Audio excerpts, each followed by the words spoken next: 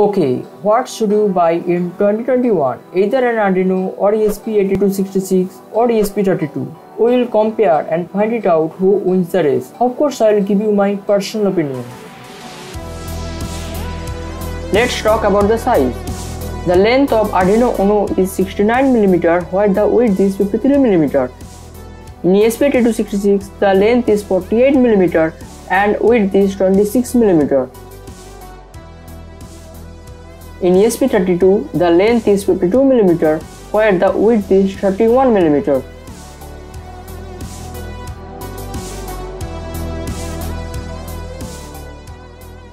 In Arduino Uno, there are 14 digital input-output pins, while in ESP8266 there are 17 digital input-output pins.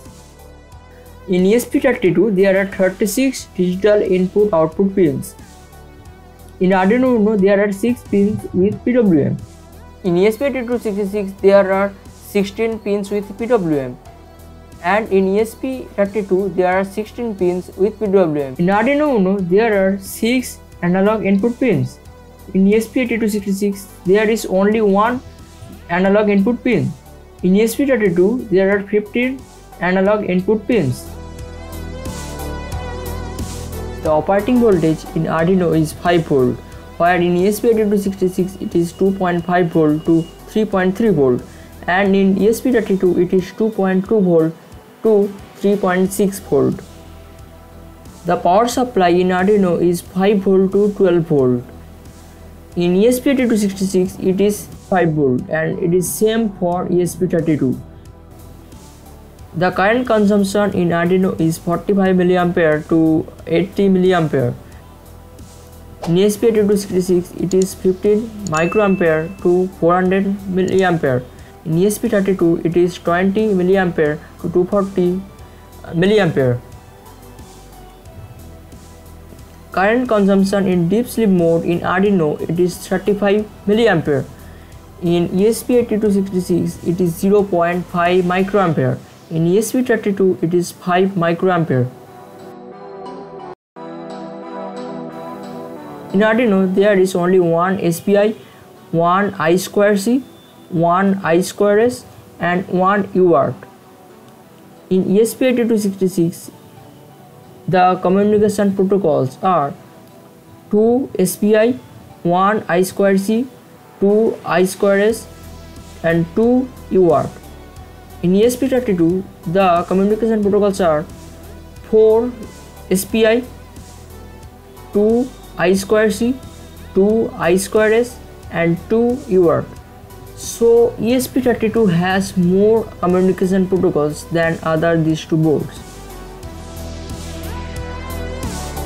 In Arduino, the flash memory is 32 KB, while in ESP8266 it is 4 MB, and in ESP32 it is 4 MB. Arduino has a 2 KB of RAM, while ESP8266 have a 128 KB RAM, but in ESP32 it has 520 KB of RAM. Arduino has 1 KB of EEPROM memory, where in ESP8266 it has 520 bytes of EEPROM, but in ESP32 it does not have. The clock speed of Arduino is 16 MHz. In ESP8266, the clock speed is 160 MHz, while in ESP32 it is more than 240 MHz.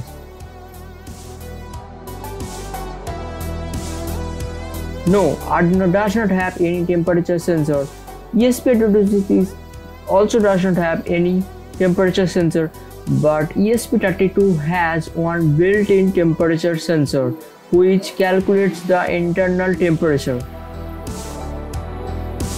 No, Arduino does not have any Hall effect sensor. ESP266 also does not have any eh, Hall effect sensor, but ESP32 has one Hall effect sensor. No, Arduino does not have any touch sensor. ESP8266 also does not have any touch sensor, but ESP32 has 10 pins of touch sensors, mean the pins are really touch sensitive. The cost of a real Arduino is $23. Then the cost of a clone Arduino is $7. And the cost of an ESP8266 it is $5 and the cost of an ESP32 is $6.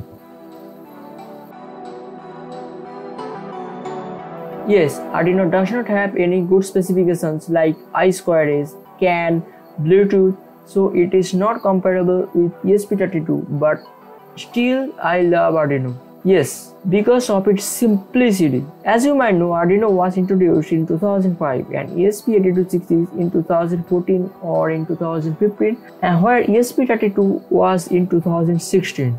Now, if you compare the latest model of Arduino, Arduino RP2040, which has a very high specifications like 16 MB of flash memory, input voltage of 5 to 21 volts, Bluetooth connectivity, then it is far better than ESP32. But it is always depends on you. If you are a beginner, then of course you should go with Arduino Uno, or you can purchase Arduino Nano or ESP8266. If you have a good experience in electronics and programming or you are working on a big project then go for ESP32 or Arduino RP2040. Now you know which board is preferable for you. But if you are still a beginner then obviously see the upper playlist or if you want to stay updated then please see the bottom video.